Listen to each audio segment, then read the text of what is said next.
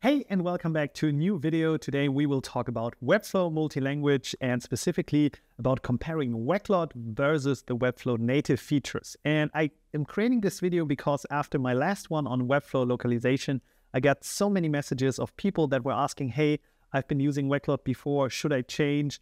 Uh, but also people that were setting up their website from scratch and they were asking, hey, which one is better? So uh, I thought I'd create this little video and what you can expect in the video is A, we will talk about the basics of localization. Second up, we will talk about what is Weglot. Then we will compare both solutions and I will also show you in a very, very short setup how to actually uh, implement Weglot on your own website. So let's get started.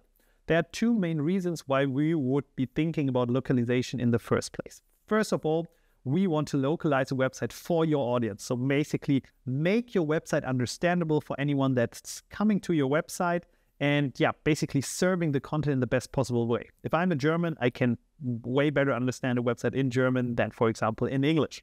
And second up, we want to do it also for Google and other search engines because Google wants to serve their users the best content. So whenever there's a localized version probably of a website, um, they would serve it and also it yeah, extends our whole reach if we can talk to more people online. For example, I'm speaking English and German, but if someone only speaks German, then obviously um, they can only see a website in Google if it's also in German. So basically, what we want to do here is we want to have happier users and we want to have more traffic. And especially the more traffic part is something that you can significantly achieve with localizing your website. So, what are the main things that we can localize? First of all, we can localize URLs. So for example, if you're if you have a URL right now like yoururl.com slash about us, you can then also change the URL to yoururl.com slash de for German, for example, and then uh, über uns, so the German version of about us. And it really, really helps to understand also the search engines, the website a little bit better. Second up, we can localize content. So we can localize the text on your website, but we can also localize images. So for example, uh, you can show a German flag on the German website. You can show an English flag on the English web flag, uh, website. And then last but not least, we can also localize meta information. So title tags, descriptions, alt tags, everything that comes up to your mind.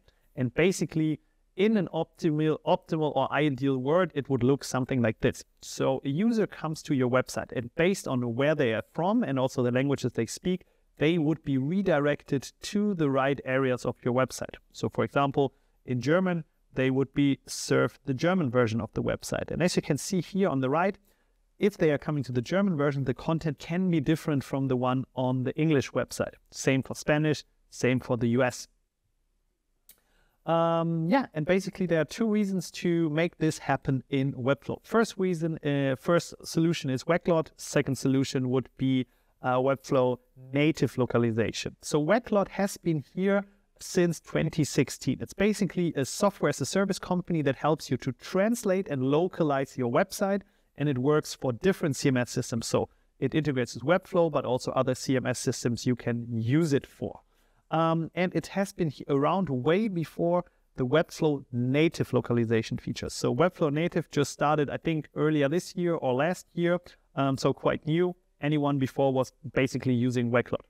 Uh, and the special thing about Weglot is it is very easy to use. It has a lot of automation features and it's very, very cost effective, especially for smaller websites. If we compare Webflow localization to this, um, I think the main advantage is it is already integrated. You don't need a third-party uh, provider. It also has some manual and some automatic translation management. Also, obviously, the features are not as advanced as on Weglot. Um, you can also localize media. You can also do that the same with uh, um, Weglot. Uh, and you have like a price per local that you are paying. And you can also localize meta tags and URLs. So as you can see from the features that you are seeing here, both of them can do or can achieve what you want. It's a little bit more about the process of getting there. Weglot a little bit more automatic, Webflow a little bit more manual, but the manual part also gives you some opportunities uh, to really go deep and customize all of it. Uh, and I think the main difference also is around pricing. So let's take a look right now at the comparison. So first of all, Weglot focuses on automatic translation. That means whenever you implement it on your website, in a couple of minutes, your whole website is translated automatically. Second up, it helps you to extend or, or like work uh, with uh, ex- external collaborators, for example, translation agencies or more people on your team. That's really, really hard to do with Webflow because then you need to invite them to be an editor on your website. Second up, they have a little bit more of a trans- uh, advanced translation management. So especially for bigger projects, it's also something uh, that makes it really, really easy. Uh, and they have a quite automated multi-language SEO setup. So they are using all the best practices with hreflang tags and these kind of things and are automatically implementing them on your website. So it's way, way faster to get started. In comparison to that, obviously you don't need a different tool. If you're using Webflow native, you have a huge level of customization options um, also, but a lot of manual work is needed and it can also be a little bit more expensive if you are using the Webflow native features because there's no free plan, you are paying per local. So you really need to think about also how your website will grow over time. Um, yeah, and that was basically the difference between Weglot and Webflow. And now I'm jumping in to show you how the setup of Weglot looks like. Okay, so in this example, we want to show you how to actually implement Weglot now on one of our websites. So I picked my personal website here, and my goal would be to have a translation from English to German to really, really attract a new level of customers, a new group of customers. And yeah, let's just go through all the steps that are needed to do that. So we are going to start with the Weglot dashboard. And in the dashboard itself, we can create a new project. So for me, it's now my website here, and I choose the website technology. In my case, that's Webflow. And then we can select the main language of the website right now. So in my case, it's English, and we can select the translation. In my case, German. Um, next up, we can select the domain URL. So in my case, maxflight.com. Now we're going to check the domain and we need to decide if we want to work with subdomains or subfolders for the translations. Um, in most cases, subfolders uh, or subdirectories are a better idea because it's better for your SEO performance. Um, sometimes subdomains make sense, but I will create another video just on that topic. So in our case, we are going for the subdirectory, meaning um, maxflight.com slash de in my specific case. Okay, once we click configure now, there's a couple of things that we need to do next. So first of all, we need to get, connect the DNS settings. And that means we need to go into the domain here, copy the DNS settings. And uh, in my case, I have the domain here in my portfolio. And now I will simply um, add the right text here. Um, and we wanted to add a text I have the value here, and then I will also have the name. Okay, the name would be, whoop, the name in my case would be Ahmed Challenge. So I'm going to copy that over. And what does this do? Basically, this tells the domain, hey, that Weglot is now managing uh, everything that is happening. Um, and as you know, these like DNS updates can take up to 24 hours. In most cases, it's more like two, three, four minutes. Um, but yeah, if you check, click check DNS here, it's totally normal that there's still a red sign in here. So wait a couple of minutes, check it again, and then we will see a new message pop up. Okay, so after I've added the first um, DNS settings or DNS information, now Weglot says they will also want to replace something else. So in this case, the subdomain www as a CNAME, they want to take it over. So most of the times you will have that set up with your Webflow server so far. But um, yeah, as I said, Webflow uh, is now planning to handle it. This is what it looks before the Webflow proxy. And I'm just going to change that down here so that basically Weglot can take over the domain handling and then do all of the magic that they need to do. Same here, takes a couple of minutes to uh, deploy and then we are good to go. Okay, so that worked very, very well. And now um, the website is almost ready to go. So um, if I click on this right now, it still says there's a DNS error, but it can sometimes take a couple of minutes to deploy everything. And also the same time, Weglot is um, translating in the background all of the website. And we will take a look in just a second to see what has happened. Okay, now after a second, as we can see, the setup is finished and I can go to my translations here And we can also should be able to take a look on the real website. So if I'm reloading the website now, you can see a toggle popping up down here.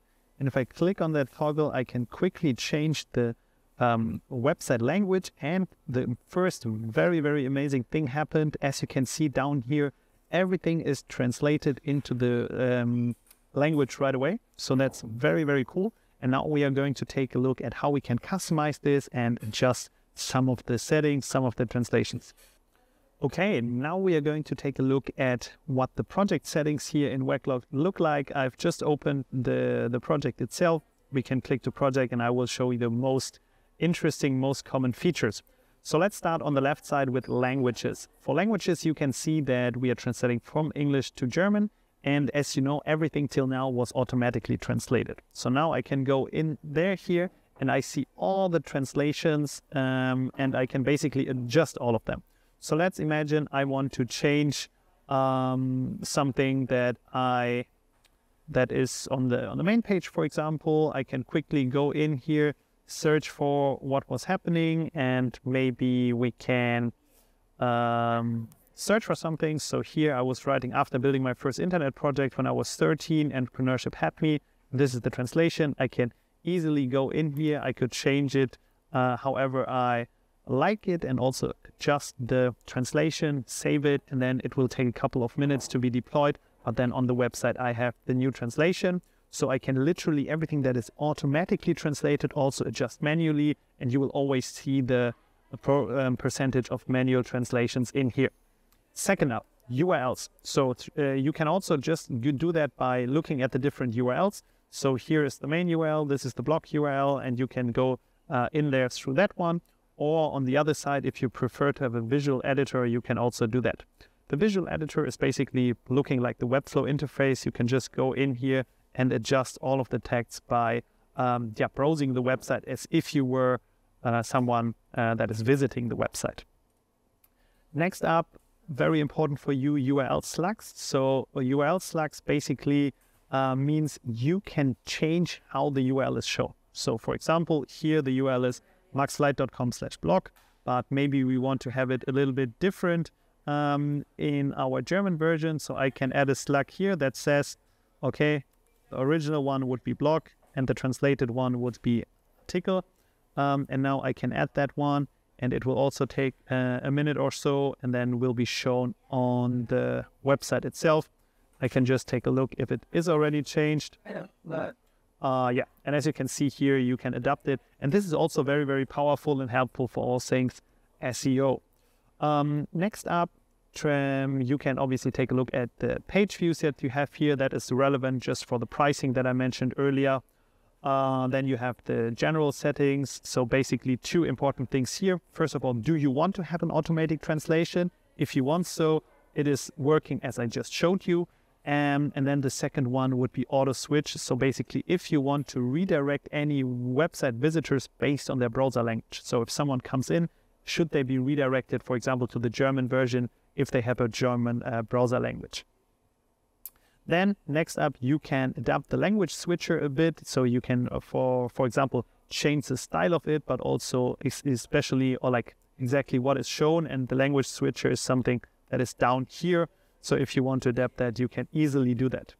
Um, yeah, and that's basically most of the elements that you will have in Weglot. As you can see, it's very, very easy to set up, very easy to use. So in under 10 minutes, I had a translated website.